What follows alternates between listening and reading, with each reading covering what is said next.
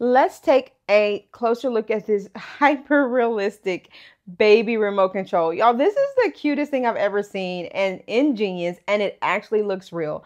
My daughter actually thought that I bought an extra remote, and she's like, Why did you buy such a basic remote? Girl, this is a toy. Super duper cute, guys. This is for six months plus. It is a baby TV remote control and teething toy. So they can bite on this and teeth on it as well as play with it. It looks so realistic. You literally almost can't not tell the difference. It doesn't have batteries in it. It does take batteries. So the battery pack is on the back, so you would need to unscrew it. So they can't just get to the batteries. It is screwed down and screwed in. And so, yeah, you would need AAA batteries for this little guy. Super realistic. And you know how babies are. They don't like to play with things that look fake. They want something that looks like the real deal. Well, this will do it for you. And it does say that it lights up. It counts the numbers. So when you press the buttons for the numbers, it actually counts it.